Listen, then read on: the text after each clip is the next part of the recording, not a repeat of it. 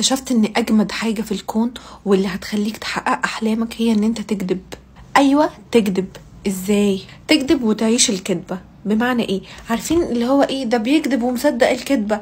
أيوه اكذب وصدق الكذبة وكل اللي أنت بتكذبه هيتحقق. لو أنت بتكذب على صاحبك وبتقول له أنا معايا عربية بي إم أو أنا عايش في فيلا وأنت مصدق الكذبة مع الوقت الكذبة دي هتبقى حقيقة. أنت بتعمل جذب من غير ما تشعر.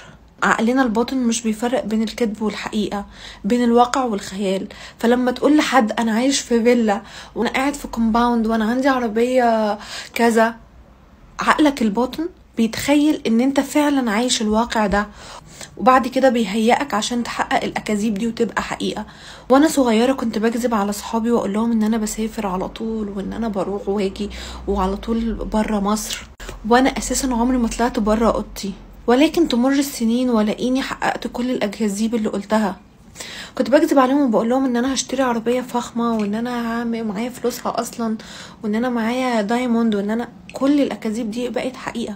الأهم من إنك تكذب إن أنت تصدق الكذبة وعقلك يصدقها علشان أنت كده بتعمل جذب. وأنا صغيرة كمان ما كانش عاجبني الأوضاع اللي أنا عايشة فيها. فكنت لما بزعل أو أتضايق بقول مش مشكلة ده وضع مؤقت كده كده. ما كنتش اعرف إن ده قانون الجذب إن أنا بجذب الحاجات دي لحياتي وإن اللي أنا كنت برسمه في خيالي أصبح النهارده حقيقة فعلا أنا عايشاها. حتى أصحابي وكل الناس اللي حواليا مستغربين بيقولوا لي كل اللي أنت كنت بتقوليه أصبح حقيقة النهارده. عيش الكذبة عيشها عيشها واكذب على نفسك مش بس على اللي حواليك اكذب على نفسك وهيئ لنفسك إن أنت عايش في كومباوند